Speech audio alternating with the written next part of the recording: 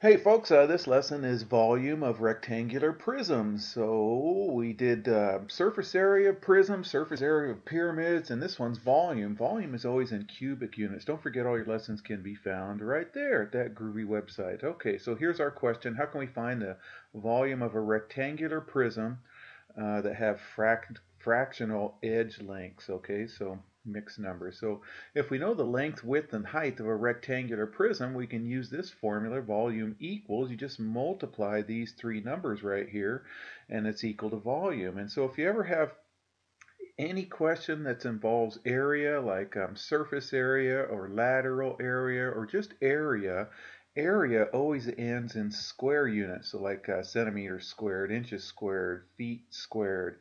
Anything with volume always ends in cubic units, so it would be centimeters cubed, inches cubed, feet cubed, meters cubed, anything cubed, whatever the units are cubed. Okay, so volume always cubic units and areas always square units. All right, so here we go. A bento, you guys, is a single portion meal that is common in Japan.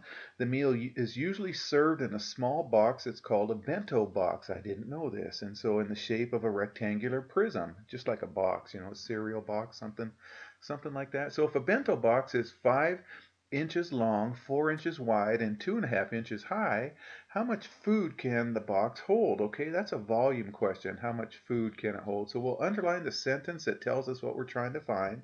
Okay, so it's it's this part of this sentence right here. How much food can the box hold right there? And then circle the numbers that we're going to use. I'm not going to circle them. I'm going to put boxes around the five, the four inches, and the two and a half inches right there. Okay. All right, so let's find the volume of this prism right here. Since we know the length, the width, and the height, okay, so it's uh, 5 inches long, there's the length, 4 inches wide, that's the width, and it's 2.5 inches high, that's the height. We're going to use this formula, volume equals length times width times height, okay? All right, so I just put the problem down here so we can use those numbers still, okay? So let's sketch the rectangular prism. Okay, so there it is right there. And then we're going to go ahead and identify the values. Okay, so we know uh, the length is 5 inches and the width, the width right here is uh, 4 inches wide and it's 2.5 inches high. So we'll put 4 inches, 2.5 inches. So 4 inches wide, 2.5 inches high. So I had to squeeze that 2.5 inches in right there, okay? All right. So now we're going to replace L with 5 in the formula, okay? And we're going to replace W with 4 and then we'll replace h with uh, 2 and a half right there. So it's going to be 5 times 4 times 2 and a half, okay? And then now we're going to go ahead and multiply, okay? There's a couple of ways to multiply this. I think an easy way is to go ahead and multiply these whole numbers. 5 times 4 is 20. And then 20 times 2 and a half is the same as 20 times 2 plus a half. And then we can distribute 20 times 2 is uh, 40, and then 20 times 1 half is 10. Okay, a half of 20 is the same as 20 times a half. And then 40 plus 10 gives us 50 inches cubed. So the bento box can hold 50 inches cubed of food, so or water or of anything. So the volume basically is 50 inches cubed right there, okay? Explain how we know what units to use for the volume of the box. Okay, well the side lengths are given in inches, so the volume was uh, oh, going to be an answer given in uh, inches cubed or cubic inches. So just remember, anything that says area is square units, anything that says volume is always cubic units. All right, so we know that the volume of a rectangular prism is length times width times height. And since the product of the length and the width uh, uh, is the area of one of the bases, look, length times width, this could be the rectangular bottom piece right here. And we can just say it's going to be base times height, okay, where base is, uh, where B is um, the area of a base, okay. So another way to find a volume of a prism is if they give you the area of one of the bases, then you just you just take that area of the base times the height because this right here is our length times width. Length times width is this area of the base. It's the area of one base. Okay, here's an example right here. So let's find the volume of this prism right here. Okay, now I know that this is the area because it's in inches squared right there. Okay, remember anything that's in squared units is area. So this is the area of this base right here. So we can use that formula, volume equals base times height. And the base is 9 inches squared and the height is 2 and a fourth inches. So the height, let's go ahead and put that in, is 2 and a fourth inches. The area of the base is 9 inches squared. So we can go ahead and plug it into the formula. We're going to replace b with 9 and h with, uh, whoops, I slid that up, b with 9 and h with 2 and a fourth. Okay, so we're just going to multiply.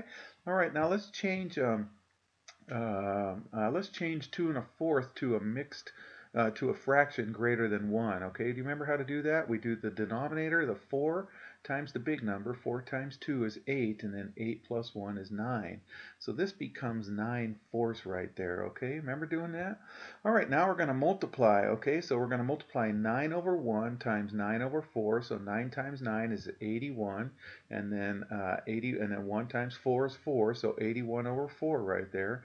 And then we'll change it back into a mixed number. So what we do is we divide the bottom into the top. So 4 goes into 81. Okay, 4 goes into 8 two times, and we multiply, and we get 8, and we're going to subtract now. Okay, so we subtract, and we bring down the next one. Okay, 4 goes into 1 0 times, and we got to do that 0 right there because because um, uh, we have one more place value to, do, uh, to divide into. Okay, so it becomes 20 right there, and then so 4 times 0 is 0, and when we subtract, we still get a remainder of 1. Okay, so we start at the top and go clockwise. It's 20 and 1 fourth, okay? Or sometimes you can see that 4 goes into 81 20 times with 1 left over, so 1 fourth right there. Okay, so the volume of this um, this prism right here is going to be 20 and 1 4th inches cubed right there. Okay, all right. All right, so let's find the volume of a cubed. Okay, so what the there's a shortcut for the volume of a cube. It's just your side cubed. If it's a cube, you can do length times width times height. But since they're all the same, it's going to be, and if this is S, S times S times S is S cubed. So that's the volume of a cubed right there. So let's go ahead and substitute in 3.5 in right there for, for our formula. So this is the formula for the volume of a cube. Volume equals S cubed. Okay, we're going to write that as a mixed, uh, that mixed number as a fraction greater than 1. So 2 times 3 is 6. 6 plus 1 is 7. So this is going to be converted to 7 halves, 7 over 2. Okay, then we'll use repeated multiplication, 7 over 2 cubed. Okay, so 7 times 7 is 49, and I did 49 times 7 over here. Okay, so here's 7 times 7 is this 49, and then this leftover 7 is that third 7 right there. So 7 times 9 is 63. We'll carry the 6 on top right there. And then 7 times 4 is 28. Plus 6 is 34. So it's 343. Okay, that's the, the numerator. The denominator is 2 times 2 is 4. 4 times 2 is 8. So it's 343 eighths right there.